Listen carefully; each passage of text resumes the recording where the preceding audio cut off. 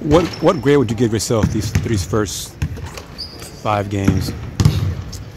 Um, probably like a probably a B minus. I give myself. I know it's still a lot of things that I need to work on that I feel like I could get better on. You know, I'm gaining confidence every game. Um, as you can see, that my confidence is definitely getting higher. I'm just learning.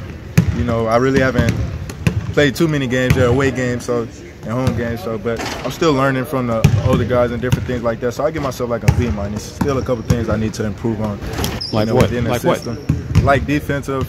Um, couple defensive things, you know, just learning our system more, learning a couple more plays on offense, you know, learning all that. Where I could just go and flow in the game without having to stop uh, sometimes or him calling a timeout. I could just flow right into it. But you know, that comes with time. You know, I'm just a freshman. Uh, I only played five games so far. So once I get um, confident, more confident, and you know, just learn all the plays, I should be good.